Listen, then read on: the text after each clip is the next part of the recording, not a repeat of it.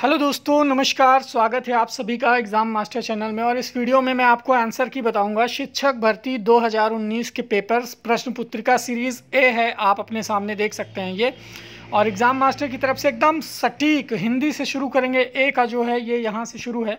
तो पहला क्वेश्चन था, कृदंत प्रत्यय किन शब्दों के साथ जुड़ते हैं? तो यहाँ पर सही जवाब होगा, क्रिया प्रत्ययों के साथ कृदंत प्रत्यय जुड़ते हैं। इसके बाद जो व्याकरण को जानता है वाक्यांश के लिए एक शब्द क्या है? तो दूसरा विकल्प सही होगा, व्याकरण। सरस्वती पत्रिका के संपादक कौन थे? तो दोस्तों, महावीर प्रसाद द्विवेदी सरस्वती पत्रिका के संपादक थे। चिदम्बरा पर ज्ञानपीठ पुरस्कार प्राप्त हुआ किसे? सुमित्रा नंदन पंत। यहाँ पर बिल्कुल सही जवाब होगा, क्वेश्चन नंबर चार का।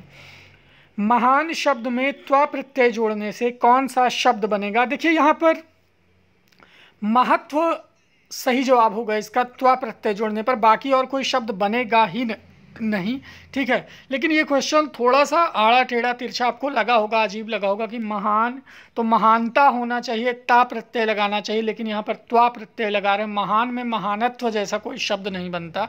तो महत्व के लिए नंबर मिलेगा यहाँ पर।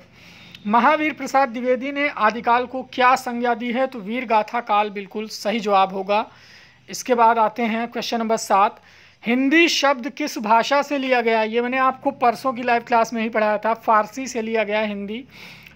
निम्नलिखित में से तत्सम शब्द कौन सा है? तो यहाँ पर आँख, पाँव और गाँव। ये तीनों तद्भव हैं। तत्सम की अगर बात करें तो गृह जो है, ये तत्सम है।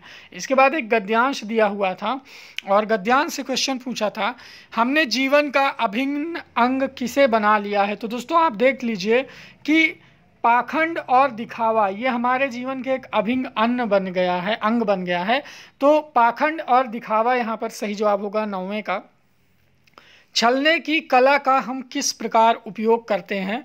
तो क्वेश्चन नंबर दस में छलने की कला का हम खुलकर उपयोग करते हैं।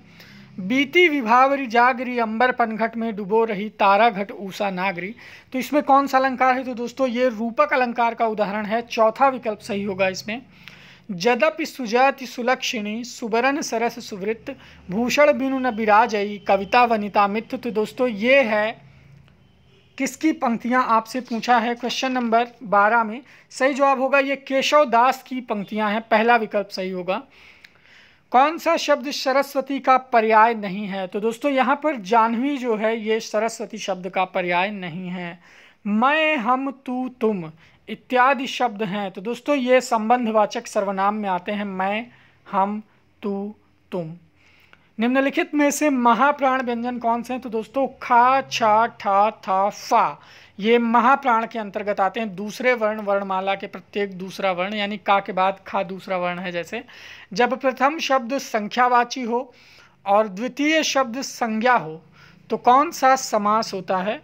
तो दोस्तों, संख्यावाची वाला मैंने आपको पढ़ाया है समास, द्विगु समास होगा। काफ़ी इजी बना था ये पेपर तुम मांसहीन, तुम रक्तहीन, हे अस्थिशेष, तुम अस्थिहीन। तो ये मानवीकरण अलंकार है, तीसरा विकल्प यहाँ पर सही होगा। निम्नलिखित में से कौन सा योजक चिन्ह है? तो तीसरा विकल्प देखिए, ये योजक चिन्ह है जो दो चिन्हों के बीच में लगता है। जैसे आप द्वंद्व समास में अक्सर देखते होंगे माता पिता दिन रात के बीच में यही शब्द तीसरा विकल्प वाला लगता है। बुद्धिमान शब्द किस संवर्ग में है? तो दोस्तों, बुद्धिमान शब्द जो है, ये एक विशेषण है। कवि का स्त्रीलिंग क्या है? तो कवियत्री तीसरा वाला ये भी मैंने आपको बहुत क्लियरली पढ़ाया है, कवियत्री। ठीक है? तो आशा करता हूँ कि 20 में आपके 19 20 सभी सही हो रहे होंगे, नहीं तो 18 से कम तो आई डोंट थिंक कि किसी का आ रहा होगा। एक क्वेश्चन वही सुमित्रा नंदन पंत वाला और एक अलंकार वाला किसी का गलत हुआ होगा तो हुआ होगा, क्योंकि वही दो क्वेश्चन कठिन थे मतलब ये जो एक लाइन पूछ लिया था, लेकिन अगर आपने केशव दास लगा दिया और सुमित्रा नंदन पंत तो आपके ट्वेंटी ऑन ट्वेंटी हिंदी में सॉलिड है, इसमें डरने की बात नहीं है। और अगले सब्जेक्ट के आंसर की मैं तुरंत अपलोड कर रहा हूँ, आप लोग नोटिफिकेशन सब्सक्राइब करके ऑन रखेंगे। तुरंत मिलेगा। आपको संस्कृत और अंग्रेज़ी एक साथ सॉल्व करके भेजते हैं। ठीक है? तब तक बन रहा है आंसर कि आप लोग मिलाते रहिए। Thank you so much video को लाइक करें शेयर करें और सब्सक्राइब करें। एग्ज़ाम मास्टर चैनल शुक्रिया।